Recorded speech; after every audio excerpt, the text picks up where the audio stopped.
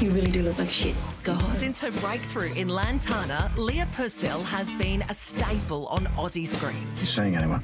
Not with the hours I keep. What about somebody on the force? Male cops are lousy in bed. She scored an Order of Australia, as well as directing and producing and starring in the acclaimed film The Drover's Wife. My children, fight for my life, I will. I wanted this one. Last year, she also starred alongside the legendary Sigourney Weaver in The Lost Flowers of Alice Hart. You lied to us.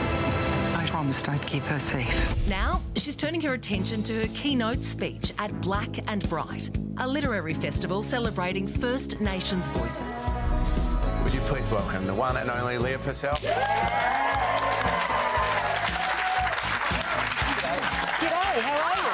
Great. I mean, a keynote speech, it sounds like it could be a bit of a boring lecture, but we know you love a good yarn. I certainly do. Is that what you're going to do? Yeah, just a yarn. Like, I'm, I'm more intimidated by the others. There's 80 First Nations authors uh, published. Uh, uh, what, what, do they do? Writers and doctors, professors, and it's just little old Lee P from Murgon going to do a keynote. So, but look, I'm so excited for it. It's a great opportunity for Mob to get together. For anyone in Naarm, please come out and support it. Runs from the 14th of March to the 17th, and I'm there on the first night. Really looking forward to it. Some great, talented people, in-depth stuffs. You know, panels, performances. It's a good weekend. But don't you go underselling yourself because you've Yeah. done quite a few things in mm. your wonderful career. You write, you produce, you act. Did you start writing because you weren't seeing the kind of roles that you wanted to play portrayed? Yeah, a little bit of that. And also, I was giving away my knowledge of my Aboriginal heritage for free. Yeah. And I said, you know, I can, I can become that writer and that storyteller, and it. It'll come from a place of truth telling. So um, I, I, I I went in to do that. But what I'm really excited about also on that is um, I've uh, got a new show coming out, High Country, and I am the first Indigenous woman to get a show commissioned in the lead role. Yeah, with, with, with the pay TV, Foxtel on binge, 19th of March, and I'm and I'm number one on the call sheet, and that's bloody hard work.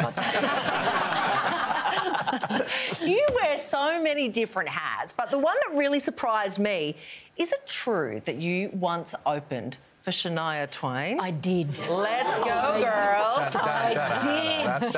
Oh, gosh, that's a long time ago. I was told not to wear anything better than she would. I said my budget doesn't allow for that. I wasn't allowed to dance. She's a great singer, and um, but.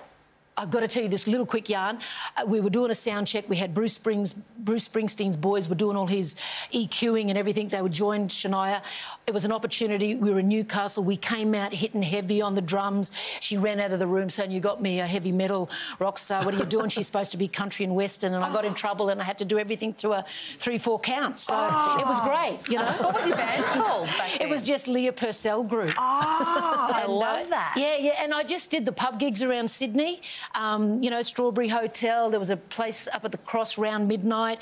But it got to the point where my fans were getting a bit of aggressive. They said, "Leah, where can we buy your music?" And I said, "Oh well, nowhere. I just like jamming, you know, just doing the music." But it got to the point where it was acting, writing, or did I want to stay in the music field? And music is so hard in this country, and my passion was to um, act. And then when I got the bug for writing, um, I, I went in. I went in focused on that. You know, took me 33 years, but I finally got a lead right. Well, um, you've obviously been very successful in acting and have come across a lot of big names in there as well. For example, you and Sigourney Weaver in the Outback, right? For Yeah. um, uh, Lost Heart of Alice. Uh, sorry, The Lost Flowers of Alice Hart. What was Sigourney Weaver like in the Outback? How did she deal with it all? Uh, she was a legend. Like seriously, she's 72, and I know she won't mind me saying that. Six foot one. She stood her height. She all, all the fight scenes, anything like that. She she went for it. Mad on kangaroos. Told me that if she ever saw one jump past, she will leave the scene. I said just make sure it's on my close up and, sleep quietly. You know? What? She was awesome. kangaroos? No, She's she loved kangaroos. she was- oh, she was right. obsessed with kangaroos. she was going to okay. run and chase a kangaroo.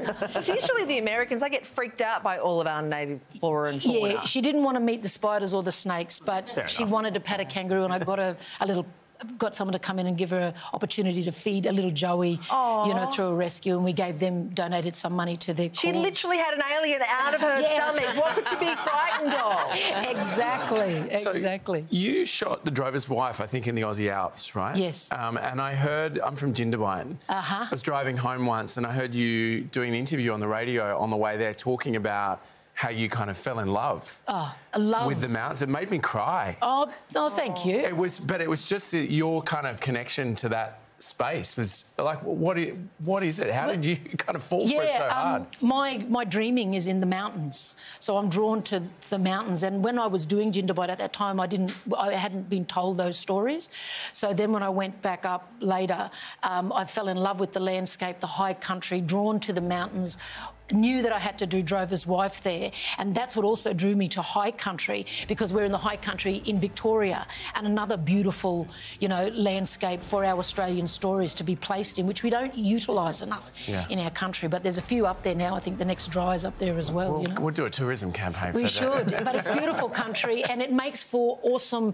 Um, you know, the shots in your in the show are just amazing, and the hmm. landscape is another character as well, especially in high country because of, because of course I'm a police officer, a detective. I go up there to solve the mysteries of people going missing. When they say don't step off the track, hmm. you really don't. We were filming in this area, and I wanted to go to the toilet, and I sort of had to do a 360 and said I have no idea where I am, and I fear stepping off the track. Like, that's how dense it was. So. She, she has been found. For info on how you can get tickets to. Blak and Bright, head to our website. Would you please thank the wonderful. Yeah.